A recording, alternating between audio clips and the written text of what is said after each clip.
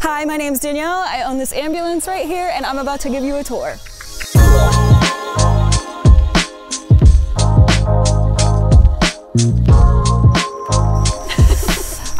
Want stats? Let's talk stats. It's a 2001 Ford F450. She has a 7.3 liter engine. It's a diesel, obviously. Uh, she's thick. We're obviously gonna start in the front of the ambulance. Here she is. She needs repainted a little bit, but that's okay. Um, I put a bus mirror over here on the side because it's impossible to see behind you in these ambulances. This helps out a lot. Then we're gonna come over to the side. Ambulances are known to have incredible outdoor storage and that is my favorite part about the ambulances. I will show you this little door down here contains the batteries. Ambulances come with three batteries in them already. Um, these two helps her on the front. There's a total of five batteries in here. We'll get to the other two on the other side. This one opens up to my closet, but honestly, I never use this door. I just use the inside door to my closet. This door is going to the inside. We'll get there in a second. Um, this table folds down into my outdoor table and it's really nice to cook on outside. Love this. And then here we have my indoor outdoor shower, which obviously you can access from the inside too, but it's really nice to have the option to do it outside if it's nice. You're in a scenic area, you just want to be naked out in public. It is what it is. Here we have the back. There's not much to it. we have double doors. We just installed this sliding door because the only other window that opens is on the other side. And it keeps some nice ventilation going. This is what we like to call the garage. Um, it's kind of empty right now because a lot of this stuff we've taken out for organization purposes. Um, but normally we just keep like the tools in here. We have our Mr. Buddy heater, just things that we don't use that often, but we need to have diesel.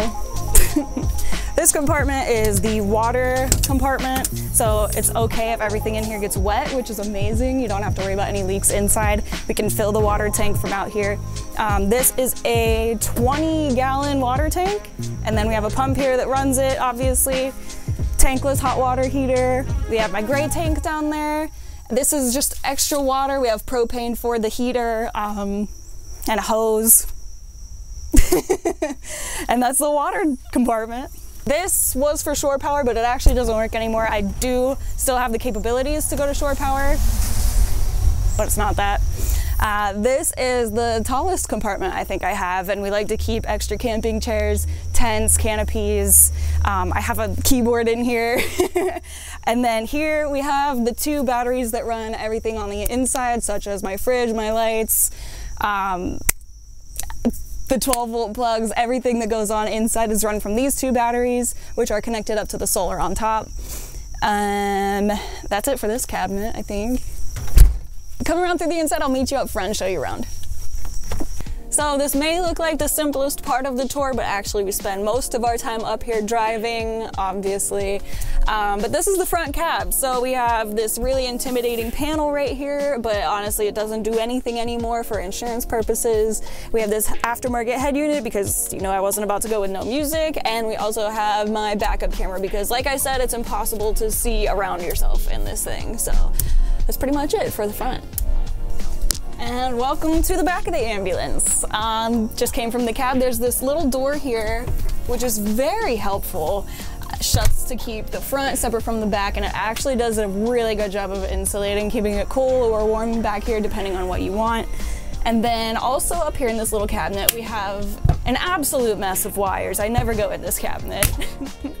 and then we have some clothes, some sheets, some onesies. And down here, we have my amp that runs my subwoofer because like I said, we're all about that music. And also we have my inverter with a bunch of other electrical stuff back there along with like paper towels and other little things that didn't fit anywhere else. And then we move up to this area, which is what we consider our front door. I don't understand how anybody I don't understand how anybody in van life goes without bug nets. We have bug nets on both of the doors. Like how? But anyways, this is my closet. Um, it's pretty empty right now because we are living in my parents' basement for the minute of while we're redoing the bus.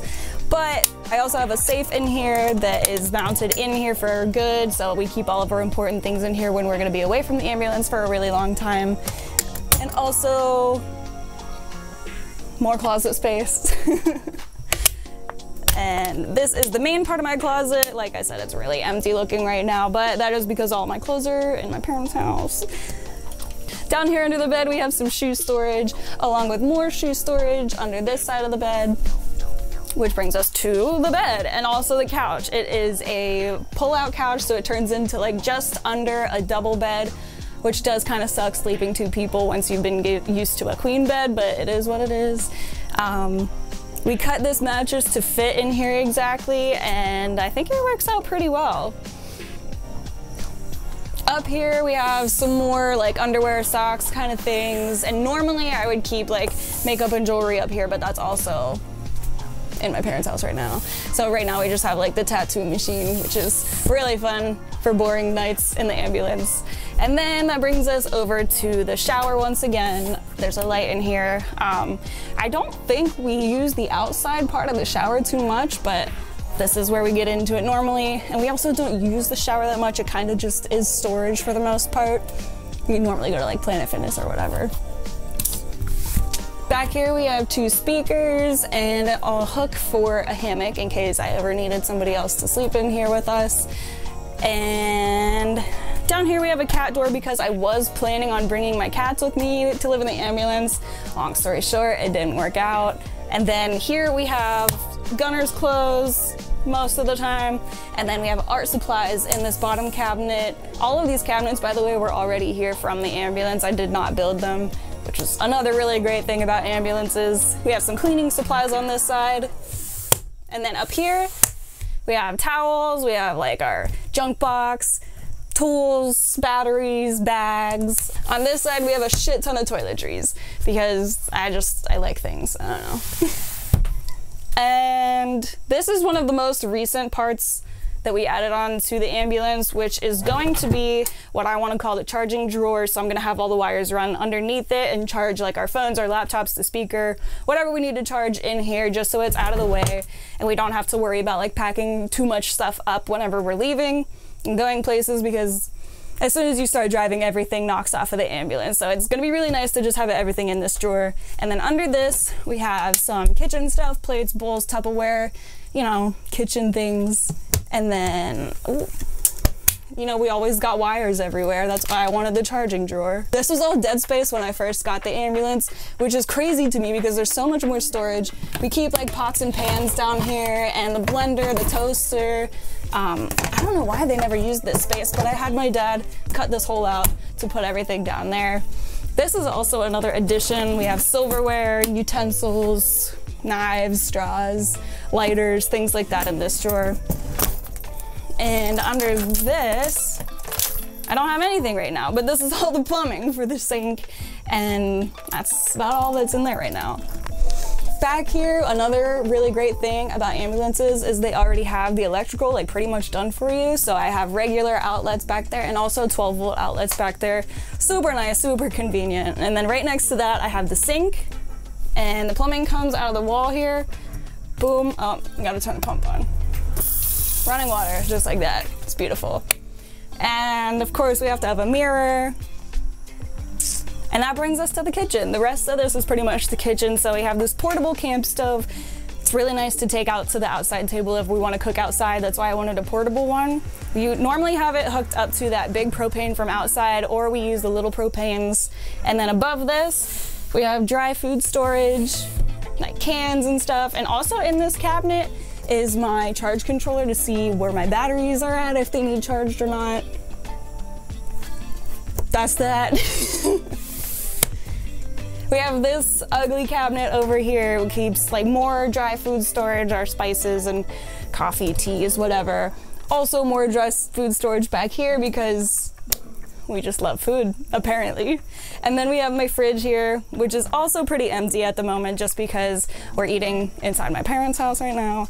But this fridge is probably the biggest fridge I've ever seen in a van build and I just had to do it. I just had to do it to him. I don't know. I also have a freezer, which is extremely nice. We have ice all the time. We have ice packs, popsicles, frozen fruits.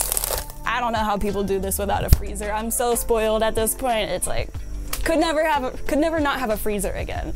Here we have the Maxxair fan. It is disgusting right now, but it either pulls air in or pushes air out, whatever we want to do. And it has a rain sensor, so it senses when it's raining to close, which is super nice. And this is the ceiling of the ambulance, which I painted myself. Very proud of it, and I will never paint another ceiling again. But this is not the original ceiling of the ambulance. The original ceiling had these big, ugly lights that did not work at all, and it had these bars going all the way across for medical people to do what medical people do. but we replaced it all, put these little puck lights in. I wish I would have put more puck lights in, but it is what it is. And then we have a bar over here that is very sturdy to hang off of and stuff. We have another hammock hook over here and that about wraps it up for the ambulance tour. That is it for the ambulance tour. I hope you enjoyed. Thank you for watching. And if you have any questions at all, please comment and subscribe to our YouTube channel because me and my husband do really cool stuff that's it.